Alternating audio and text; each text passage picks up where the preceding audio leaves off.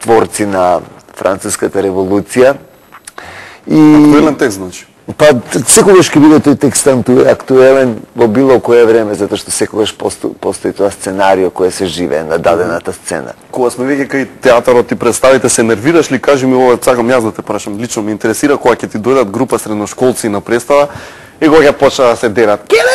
Или не знам, лели што сакам! Или нешто така, или шлапка со мастикине. Тоа беше мислам порано. Сега одамна не сум налетал на таков ексцес, на таква сцена да се случи. Не, ми си има случај. Јас кога бев на, на кај бев, во средно бевме, на Буре Барод ми се чини бевме, И баш тоа се случуваш. Кога си бил ти средно? Пред пар години? Да? Пред некој си да, пред мислам тоа беше пред 4 години на Буре Барот е, мислам дека беше и баш така се дера. Оригинал. Да. Кили! И искача кили на сцена. Потоа пуста желба да воспостават некој контакт веројатно со актерите што се на сцена Иако може да не на, на, начекат позади на службен влез на крај да, на представата. Да, да. да, вознемирува тоа многу зашто те фрла во приватен живот од еднаш, а ти се цело време се uh -huh. тераш и се трудиш да влезеш во пликот. А општо културна публика доаѓа на на театар? Да, да културна публика и све повеќе и повеќе. актерите многу, кога играат. Многу, многу.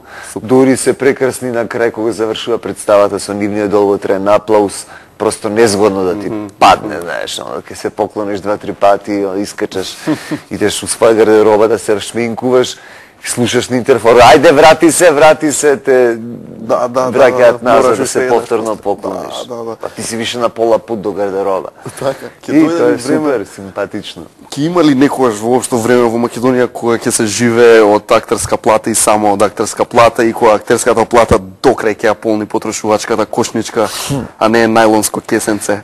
Па видиш бе, ние глумци, глумците веројатно и сите уметници имат поголема потреба да живеат убаво од моментот во кој сега живеат. Колку е убаво да живеат. Секогаш ќе постои таа глад и потреба да да се граби кон нештата, да се доживее совршенството, да се види барем како изгледа во таа така наречена нирвана наша. Сите ние чезнееме да живееме убаво. Така да секогаш ќе биде мала нашата плата за да се достигнат тие вредности кои ни се нам потребни. Па колку и да биде голема? Па колку и да биде голема. Фала Богу, на нас ни доаѓаат стално џобови некои.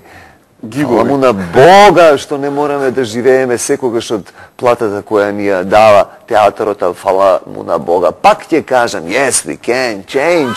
Се, слушу, се случуваат промени, нели, кај нас во театар, три пати по 10% ни ја дигнаа платата, еве, нели, се случуваат стално нови представи, машинеријата работи, фабриката гори, ага. зум, зум, зум, зум. Има, има ли случаи кога актерите одбиваат улога? Како да не, како да не, има случаи. Од кои причини се прави тоа? Па едноставно не се наоѓаат тамо, не гледаат никаква провокација, ништо не ги тера да се трудат да го направат тој mm -hmm. лик или имаат некој свој а, приватен проблем во тој момент кој е многу поважен од, да, да од работа на и не може и вистински да се посвети, а ти актер не можеш да го натераш со сила да го работи тоа што он. Нема љубов кон таа работа и Фала Богу, директорот наш има разбирање кон тие моменти. Наворот, театарот, што мислиш за фактот дека кај нас никако не можеме да направиме насална ТВ сапуница, како ја вика таму ситком, и слично, нели? Можеме ние да направиме прекрасна ТВ сапуница. Е, тоа е, што е проблемот? Знам дека можеме. Каде? Можеме, него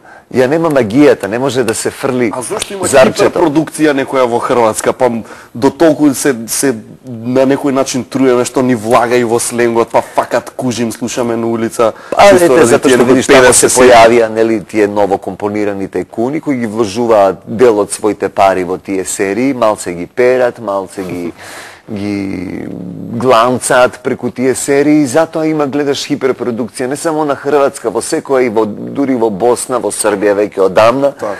Вложуваат, вложуваат во тие серии, ги ги прават веќе се ангажирани милион сценаристи, мал број сценари, огромен број сценаристи кои пишуваат однапред епизоди за за гарантирани 100 епизоди так. во некоја серија и тоа е со, со добри пари покриено. Да, да, да, да. Ја мислам дека ќе дојде во Македонија таков момент кога ќе ќе почна да вложуваат па, во. Не има луѓе кај нас. Има, се има, се има, само нема човек што ќе ја фрли магијата што ќе ги собере тој тим кој е раштркан секад на секаде сега по градот треба да ги собере луѓето, да им даде камче и да рече децо стварајте, правите, знам дека можете, не сте глупи, не сте неинтелигентни, не сте необразовани, неуки, го знаете за наетот, Така. имате глумци, имате сценаристи, режисери, сценографи, костимографи. Знам дека знаеме пет пати подобро, подобро да му направиме тоа што го прават во Загреб, например. Така. Малце ми се импотентни. Со, со, да, да, се согласувам лично. Со размак од е многу многу години по тетовирање како гледаш сега на тој период и дали мислиш дека тетовирање остави најголем белек на културата од било кој друг филм, онака без нели некоја скромност. Мислам дека остави белек најголем, да.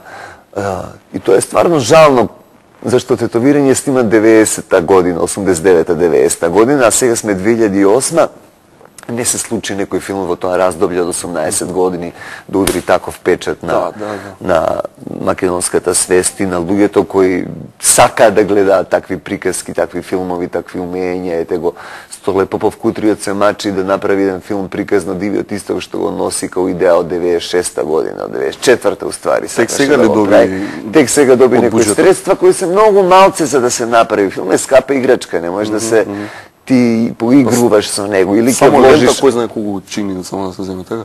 како што само Само лентата да се земе, Да, о, тоа е најмал трошок. А, кај се е огромен, да, тоа е најмал трошок. Филм е скапа играчка, многу која кошта преку 100.000 евра на ден, така да не смеш да се поигруваш ни со секундите кои предстојат во текот на Да. денот.